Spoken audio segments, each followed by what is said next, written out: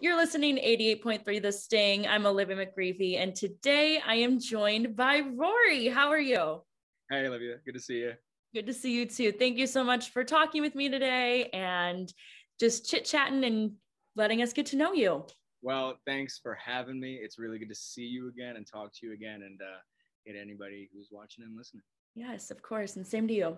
So, my first question is just tell us about yourself and kind of where you got where you are today. Uh, sure. Uh, I, I am a uh, an, an, actor, musician, and producer. Um, live here in New York. Um, I grew up performing. Uh, I came from a, a, family full of artists, and um, I also I came up in the recording studio scene because of my dad and his history in the music world. Um, found my voice kind of a uh, little bit later in life, a little uh, kind of in my um, early 20s, and I've always been obsessed with music. I've always been obsessed and in, with the you know had that inner need to be a performer. Um, uh, my dad and I produced, write and produce music together for maybe the for a little over 10 years now, and uh, you know what what started off as something kind of for fun and something that we were really just trying out turned into something um, that we you know really buckled down and kind of took seriously and uh, uh, even though uh, wouldn't necessarily recommend taking anything seriously. But um, uh, yeah so that's that's kind of it. I made my uh, made my broadway debut uh, in the broadway company of jersey boys in 2014 went from that to the original cast of bronx tale the musical mm-hmm. and have released uh, an EP since then and various singles that's on all streaming services and whatnot. Uh, yeah, yeah, it's kind of long and short of it. Yeah. One, I think it's awesome that you work with your dad. I think that is so amazing. Um, and two, how does it work for you musical theater and music do you think one became like came before the other for you or was it just just so happened that acting and music were two things that you just really loved and they just so happened to work together not one thing necessarily influenced the other although i i, I find that because they're both such a really just orbit my world now that uh, they they kind of have a little coexistence. But i'd say in the beginning no not really. I just i always knew i wanted to be an actor a performer and uh, always have just done that really just like streamlined that big time in my life. And uh, and music was just the world I, I lived in, whether, uh, you know, whether it was just um, being obsessed with it on my own or, you know, coming up in the, in the recording studio mm.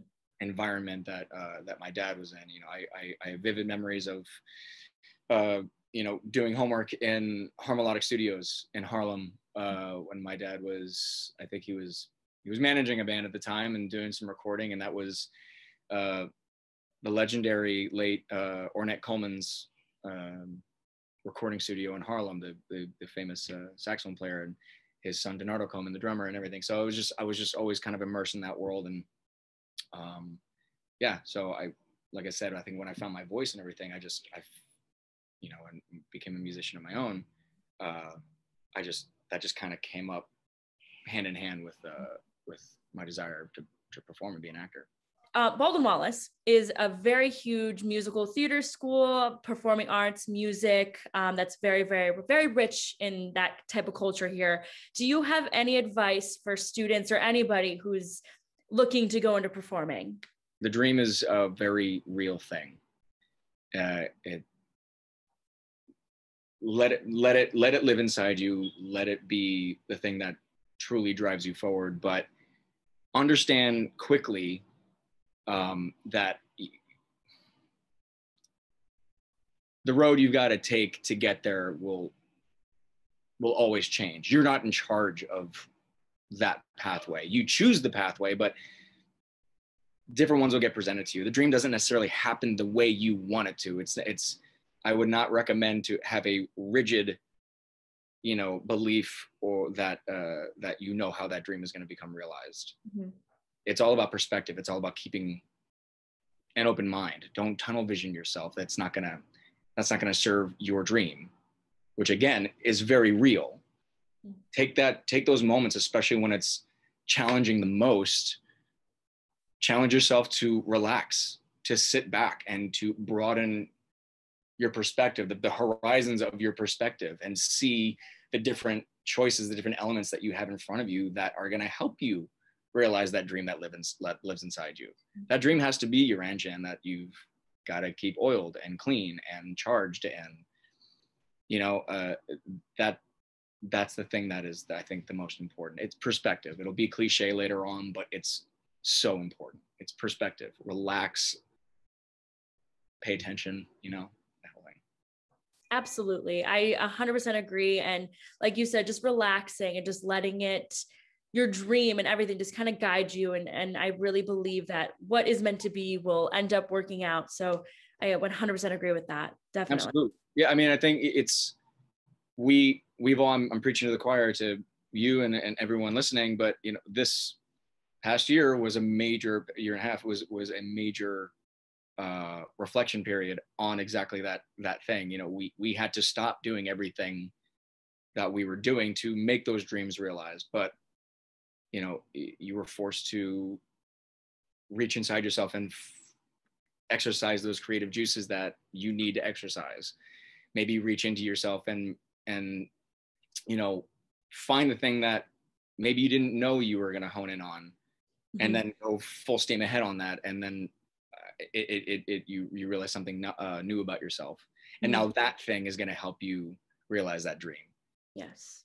You know it's it's you know going through a little hell to to find your own piece of heaven yes again, I agree with that. And I feel like this past year, I was really able to focus on myself and take the time to get those creative juices flowing again and take a step back and decide what was really important to me and what direction I wanted to take. And I feel like um, it was really important to sit back and definitely look and reflect on what was so important and where to go from here, you know? And I feel like this past summer was when I really started getting back on track with everything. So that's cool. I, I, I think it takes, I think it takes also you know, especially in, in, in this business, which is a very specific business to be in.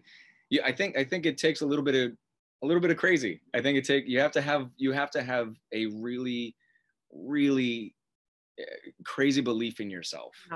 You, got to have that. It, without that, I think you're just you're gonna fall behind, and you got to really, you got to have that belief in yourself. Yeah. It, again, that'll that'll sound a little cliche, but it's you have to do it. Yeah. You have, you have to. Have who are some of your musical inspirations?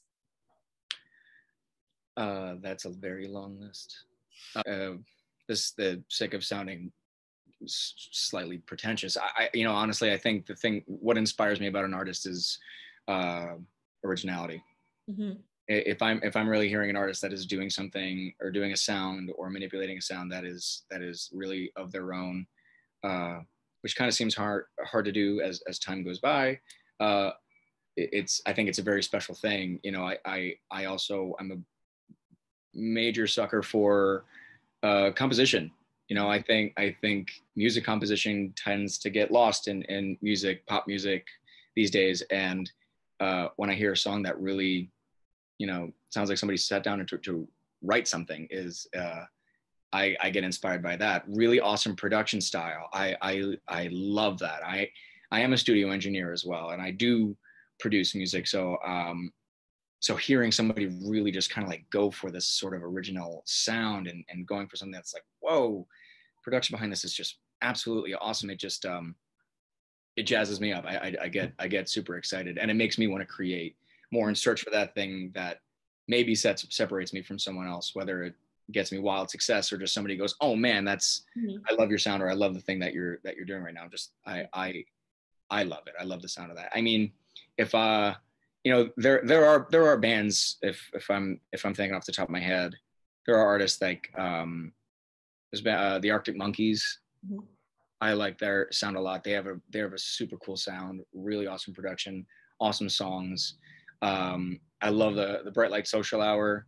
I love. Um, I'm a huge fan of the Foo Fighters. I'm just a I'm I'm.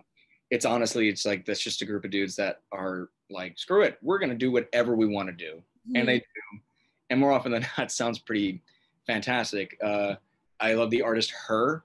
okay talk about uh, an originality but also an, an amazing mm-hmm. musician she is you know where she's taking this kind of like R&B pop rock element with her with her uh, guitar playing and whatnot. I've I've seen live footage of her that just it it it blows my mind how how good she is.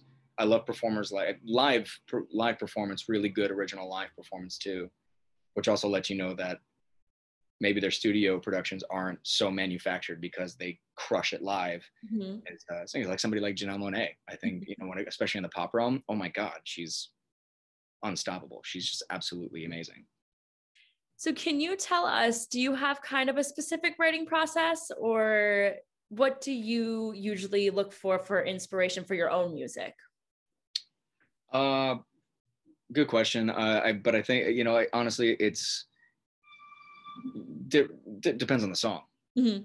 Depends on what I'm writing. There are songs where uh, like a melody or lyric comes to me first and I have to figure out what I want to do to accompany that mm-hmm. or, or I'll write just like a full on instrumental and have that for years and years that I always play to. And I either have to decide to keep that for myself or, okay, am I really, what am I really going to spend time and turn this into something? Like I have, a, I have a song, uh, I have a song carry on that was just like the, the story behind that song is it, it, it stemmed from a very unfortunate circumstance, but it, but the way it happened was, it was just one of those kismet moments where I wish every song could be I could write every song the way this one came out came about, where it was, uh, you know, something happened in my world, and it, uh, like it, the the the song, the lyric and melody just just sort of fell out of me, and um, the next morning I, I get a I get a phone call from my dad who was like, he goes, man, I don't know what it was, but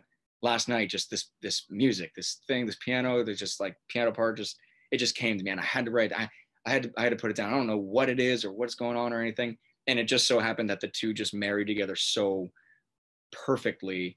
I had no idea he was working on anything. He had no idea I was working on anything. It just happened that way. I wish every song could, could kind of happen like that. I would have like a crazy anthology at, at this point if, if they all worked out like that. So I, it really depends on the experience. It depends on the song, the, the circumstance.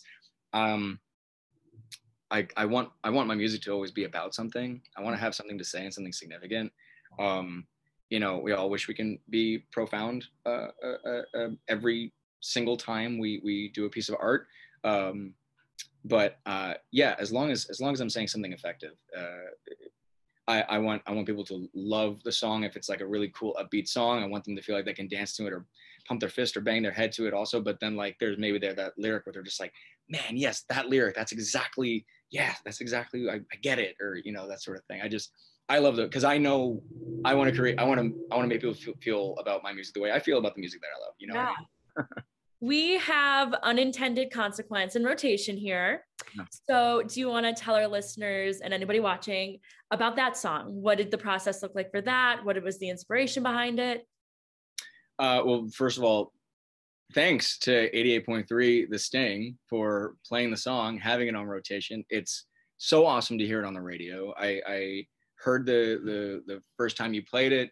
You gave one hell of an introduction that like totally it like broke my heart, man. It was just so it was so sweet and it was so kind and uh, you're amazing and the station's awesome. Uh, I love the music that you guys play. So it's it's uh, it's awesome and an honor to be played in the rotation that you guys have uh, have going on. So I appreciate everything, and that's it's super super cool. Uh, to answer your question, unintended is it, it's about making decisions. It's about when we unfortunately make decisions based on fear, mm-hmm. you know, um, and how we get caught up in feeling sorry for ourselves uh, you know, instead of paying attention to sometimes what's just right in front of us, which is the solution to what what gets us feeling that sort of way. Um, it's it, it's it's realizing that a lot of the time the, the things that happen, the things that happen that make us go why why me mm-hmm. is uh, a lot of the time more often than not we have ourselves to blame for that. Mm-hmm. Um, it's a message that says you know it's it's like imagine imagine what you would do if you took all that energy that made you that you're where you're making yourself feel all of that which is giving you the unintended consequences that it's giving you that sort of almost negative spiral mm-hmm. and taking that energy and just shifting it to change your perspective yeah and just saying like what would happen if you if you just did this. Uh try harder work harder be better. But that the song that we're playing is off of your ep full circle.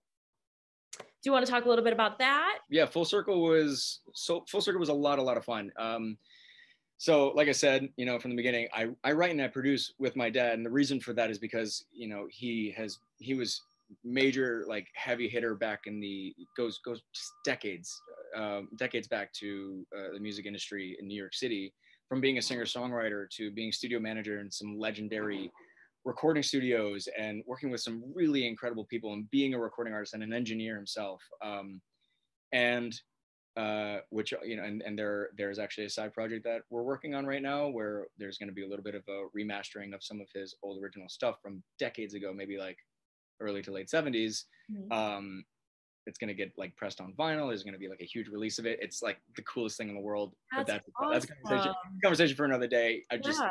follow follow me along to to like for release on that kind of stuff, especially if you're a vinyl collector or anything like that. You're not going to miss it. It's so good. Anyway, uh, but a lot of the music, a lot of his music, I grew up with, and it's very easy for me to sound biased, but it's really really good music. It, it's it's just so it's such good stuff, and um, but there's a there's a major part of it all that never really got to see much the light of day. Um, and having grown up with it I, and, and, and loving his music so much, kind of when I found my voice and I figured, you know, you know what? Yeah, I really want to not, I want to go from sticking my foot into the production world and really stepping through that door. Um, I kind of saw this opportunity that this concept that I had to take a, take a, a good handful of the music that he had from way back when and totally rearranging it together.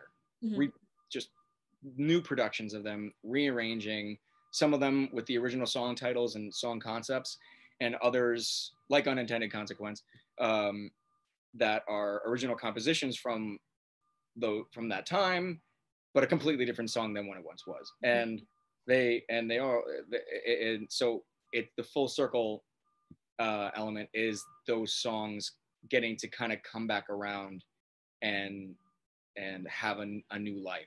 You know, I, I always equated it to like having an amazing sports car that just sat in a garage for years mm-hmm. and all it ever wants to do is just tear up the highway and this was kind of like my way of kind of letting them opening that garage door and just like starting the engine yeah. and also kind of that full circle of this journey that we have between father and son uh kind of like his music kind of me going okay this is let's make this our music kind of putting this kind of thing out. Um you know i don't i don't i don't take our relationship for granted at all. I know i i uh we have something very special and it's it's uh, it's pretty unique and um it's a major major blessing to be able to kind of work together. Doesn't mean we doesn't mean we don't do this from time to time everyone can relate to that i guess but it's um but it's uh, it's a it's a it's a pretty special thing we've got going on. So yeah, I think that is absolutely amazing and so beautiful that you're able to do that with his music and do that with him.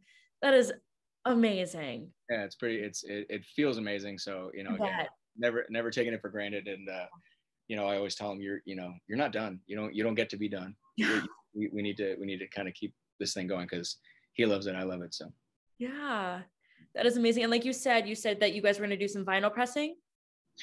Well, yeah. So it's you know it's not it's not too much out there yet. I, I want to make sure that when everything is really put together and packaged right, that it uh, that the the the idea of it all really gets gets out there. But it's just a little side project at the moment from a band from uh, that he had when he first came to New York in the early '70s. Made some really incredible music and did press some vinyl, and it did get released uh, um, very limitedly. Uh, is that a word? back, back, in, back in those days. Uh, and um, it really is just absolutely kick-ass music. Mm-hmm. Uh, and uh, you know, we, right now there was somebody who's interested in saying, "Hey, I re I, I, I reissue records and we want to do a vinyl pressing and you know all that kind of stuff. He, he we found out that his music, his band from back in the day, is in a book called The Acid Archives. Wow. Which is a book of underappreciated bands in their time, and he's in that book, his old band and everything. So it's just like this whole this past like couple years have been just a total uh, head trip, you know, about uh, you know that kind of like his past, sort of like revisiting uh, him like that. So yeah, it's a that's a that's a plethora of information that's almost useless right now. But if you follow along, I swear to God, when everything gets released and everything, you're not gonna want to miss anything like that. Your music, it is awesome because I know you from your musical theater side. So when sure. you sent me your music, I was like, he rocks. Oh man, amazing! I love That's it so sweet. much. That's so sweet. Yeah, you know, is I I never I didn't even grow up necessarily um, loving musical theater. That was mm-hmm. actually never uh, on my radar too much. I mean, I grew up here in New York. Uh, plays were always my thing. Television and film. Um, musical theater. I always had the respect for it. No mm-hmm. question about it. It's like it's it's one of the hardest uh, art forms, and it's just when it's really done right, it's it's a it's an amazing thing. But I never necessarily saw it as something that was for me. I grew up, I found, oh man, there's there is a there is an area of musical theater that I totally identify with, and mm-hmm. I and I love it, and I think it's amazing, and it charges me up, and it's uh, and it's super cool. Um, but yeah, so it's you know the music never necessarily was influenced by mm-hmm. something like that. I just I feel like now they only go hand in hand because it's the performance aspect of it. Mm-hmm. You know, when you really yeah. see an actor commit to uh, the text in a song and really perform that, not necessarily just arms wide open singing to the heavens, but really having that uh, having that intense connection. It's um, it's it's pretty priceless, and I like trying to put that into performing my music. You want to tell our listeners maybe where they can find out more about you, follow along on your journey, keep sure. up with you. Uh, it, you know, uh, follow me at uh, at Rory Max Kaplan on uh, on Instagram. That's kind of the only social media that I have that's really uh, up to date and, and I and I post to uh, um, on the regular. It's uh, I'm not the best when it comes to social media, but I try. And especially when things are getting released, um, I'll be doing a whole lot. Uh, there, there's there's always uh, a post about when something's dropping, something's coming out, the next show I'll be in or, or, or what have you. So, uh, so you can always find that sort of thing. You can always, whatever you stream your music, you can search Rory Max Kaplan, find the catalog that's there. Uh, I'm releasing new music all the time. I'm doing a lot more single releases this year and awesome. package them up at, at another time. So yeah. Awesome. And for our listeners, listen, you're going to really want to keep an eye out on your social media because you have some very exciting things coming up. Like you said, new music, some special projects. So definitely go follow him, show him some love because there's some pretty cool things happening. Yeah, exactly. Yes. So thank you so much for talking with me today. It was so good to see you. It's so awesome to see you too. It's awesome to talk to you, and again, really awesome stuff with the with the uh, with the station. Keep rocking it, and uh, thanks for having me. Yeah, you're welcome.